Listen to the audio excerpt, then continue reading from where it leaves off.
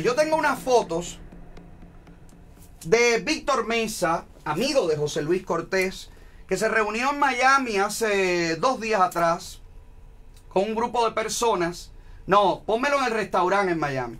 Con un grupo de personas y alguien que estaba cerca de la mesa donde ellos estuvieron comiendo, me llama y me dice, Ale, aquí está Víctor Mesa diciendo los horrores más grandes de ti por el tema de la diosa y del tosco.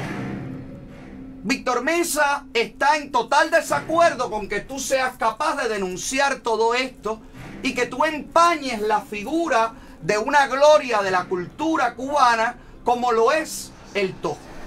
Ahí está la foto del restaurante donde se llevó a cabo toda esta disertación, toda esta conversación agresiva e insultante hacia mi persona. A mí no me importa. Víctor Mesa puede tener de mí todos los criterios que quiera. Yo tengo uno solo de él. Es un oportunista. Así que cuando pueda demostrar todo lo contrario a esto que yo le estoy diciendo, entonces podremos debatir. Víctor Mesa y yo o el que quiera debatir.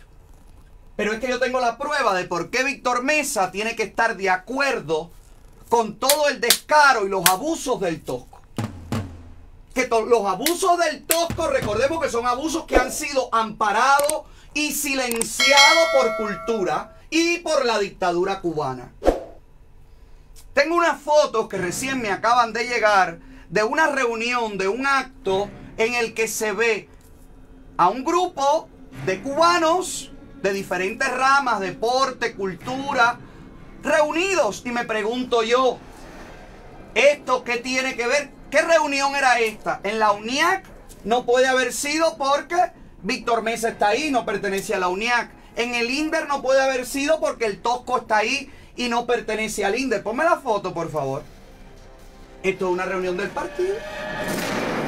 Esto es una reunión del DTI. Esto es un meeting de, oye, tenemos que hacer esto. Aquí están las pruebas, caballero. Por eso es que se defienden unos a otros. Por eso, por eso es que quieren callar la verdad.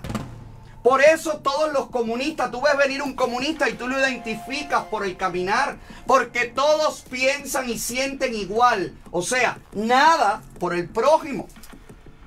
La única realidad de un comunista es yo, salvarme yo, tener yo, conseguir yo, mantener yo, mi reputación yo, dañar al otro, y reputear al otro, desprestigiar al otro, al que me dice, al que está sacando la verdad, al que no piensa como yo. A ese sí hay que callarle la boca.